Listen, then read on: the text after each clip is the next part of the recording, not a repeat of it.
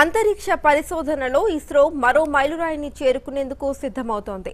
ఒకే rocket ప్రయోగం ద్వారా ఎనభై మూడు ఉపగ్రహాలను కక్షలోకి ప్రవేశపెట్టి ప్రపంచ రికార్డు సాధించాలని టార్గెట్ పెట్టుకుంది.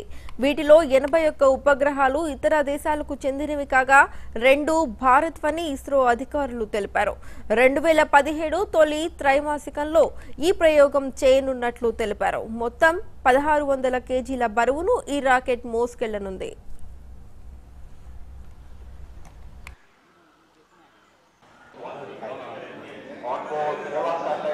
Obrigado.